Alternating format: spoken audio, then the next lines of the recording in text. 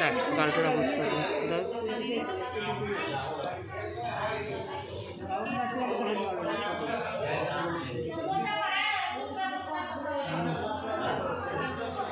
দেখ। দেখ সেরকম হয়ে গেছে।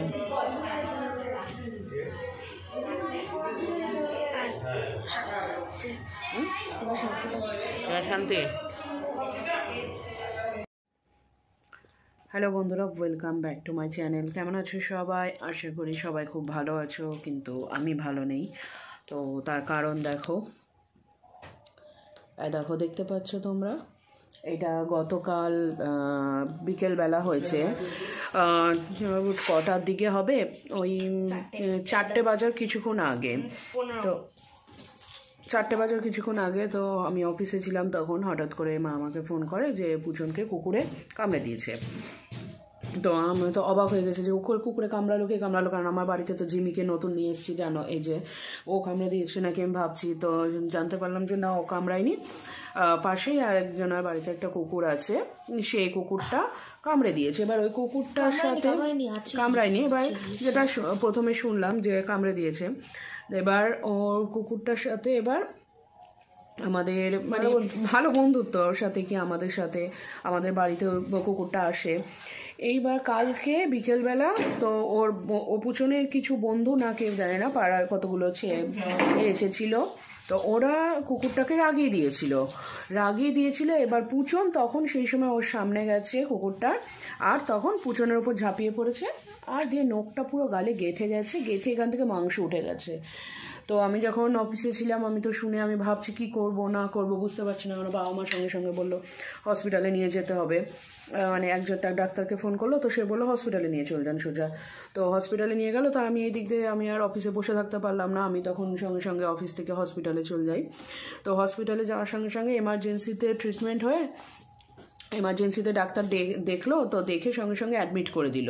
তো বলল অ্যাডমিট করার পরে এবার ওটি হবে তো। এবার হচ্ছে কুকুরে এরকম করে এ করলে তার ওটি হবে, কি হবে, আমি তো বুঝতে পারছি না কারণ সেলাই পড়বে না, কি করবে? আমার খুব ভয় লেগে গেছিল বিষয়টাতে। তখন তারপরে যখন ওটিতে নিয়ে এবার কী করবে? আমি তো ভাবছি ওর সাথে না আমি ঢুকবো ওটিতে। এবার ওটিতে জানি যদিও বা ঢুকতে দেয় না, এবার ও তোকে তো এর আগে কোনো দিন ওরকমভাবে যায়নি। এবার দুর্ঘটনা তো মানুষের জীবনে মানে সবসময় ঘটে বা নিত্য সবসময় ঘটে না, হঠাৎ করেই ঘটে ঠিকই।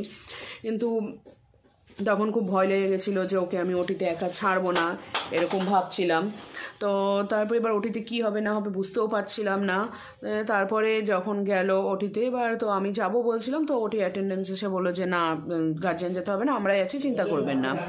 তো ওকে যখন আমরা, ও গেল যখন ওকে নিয়ে গেল ভেতরে, এবার কি করবে আমি তো বুঝতে পারছি না, বাইরে এবার খুব চিন্তা হচ্ছে, আমারও চিন্তা হচ্ছে, মা আর বাবাদের হচ্ছে সবারই চিন্তা হচ্ছে যে, কি হচ্ছে, না হচ্ছে, বুঝতে পারছি না।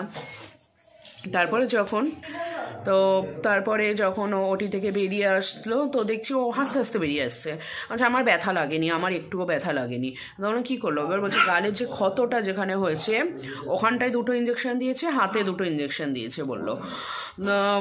এবার তো যে বলে ক্ষতর মধ্যে, বলে তাহলে ওইটার জন্যই হয়তো নিয়ে গিয়েছিল। তো তখন দেখলাম ওখান থেকে গড়িয়ে গড়িয়ে রস পড়ছিল। তো তখন আলটিমেটলি অনেকটাই বেজে গেছে, ছটা, সাড়ে ছটা বেজে গেছে। দিয়ে বলল এখনও অ্যাডমিট থাকতে হবে কিছুক্ষণ। এক ঘণ্টা পরে ডাক্তার আবার দেখবে, দেখার পরে তারপরে ছাড়বে। তো দিয়ে গিয়ে যেখানে ওখানে রাখা, সেখানে গিয়ে আমি সেখানে গেলাম। তো ওখানটায় ডাক্তার দেখল। তো দেখার পরে তারপরে ও তো ড্রয়িং স্যার ফোন করেছে, যা কথা বল। তো এবার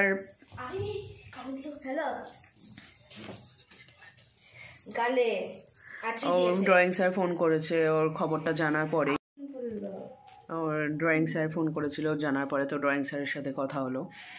এবার তো সন্ধেবেলা হসপিটালে যখন রাখল, দিয়ে তারপরে মোটামুটি সাতটা কুড়ি, পঁচিশ, তো সেই সময় তো ডাকলো আবার। যেখানে প্রথমে নিয়ে গিয়েছিলাম যেই রুমে তো সেই রুমে নিয়ে গিয়ে ওকে দেখল আবার। তো দেখার পরে ওষুধ ওখানে কিছু যা লিখে দিয়েছিল ওষুধ দিল। আর ওখানটায় বলল যে পরের দিন এসে ভ্যাকসিন নিতে হবে। তো আজকে সেই সকালবেলা গেলাম হসপিটালে হসপিটালে গিয়ে আজকে ফার্স্ট ভ্যাকসিনটা হলো আবার ডেট দিল দুদিন পর। দুদিন পর গিয়ে তারপরে আবার ভ্যাকসিন তো এরকম ডেট দিয়ে দেবে চারটে ভ্যাকসিন হবে। চারটে ভ্যাকসিনেরই ডেট দিয়ে দেবে তো সেই মতন ভ্যাকসিনটা নিতে হবে। দেখো মুখের অবস্থাটা কীরকম হয়ে আছে। একদম ক্ষত হয়ে যায় আর এই গালটা এখন ফোলাটা অনেকটা কমেছে না তো গালটা আরও মারাত্মকভাবে ফুলে গিয়েছিল আঘাত লেগেছিল তো গালে। আর ক্ষতটা হয়ে আছে। ভাবা যায় না আরে হাতটা যা লাগল। হ্যাঁ, কালকে খুব কম লেগেছে একদম অল্প লেগেছে দু হাতে দিল। সরু ইঞ্জেকশন বিশাল। লাগে। আবার আরও তিনটে দিতে হবে। তারপরে শেষ হয়ে যাবে তো?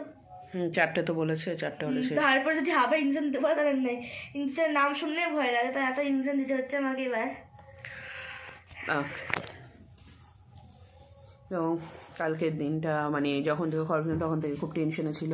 যাক আলটিমেটলি হসপিটালে ডাক্তার টাক্তার দেখার পর বা নিয়ে আসার পর টেনশনটা কমেছে। আর যেহেতু ও সুস্থ হয়ে সুস্থ হয়ে এসেছে অনেকটাই, তো এখন শুধু ভ্যাকসিনগুলো লাগবে আর গালের ক্ষতটা যেন তাড়াতাড়ি ঠিক হয়ে যায়। এটা নিয়ে একটু চিন্তা আছে, গালের দাগটা যেন না থেকে যায়। তো আজকে তো খুব ছোট্ট ব্লগ যেহেতু তোমাদের সাথে সব কিছু শেয়ার করি, তা এটা শেয়ার করলাম। তো তোমরা প্রে করো যেন খুব তাড়াতাড়িও ঠিক হয়ে যায় সুস্থ হয়ে যায়।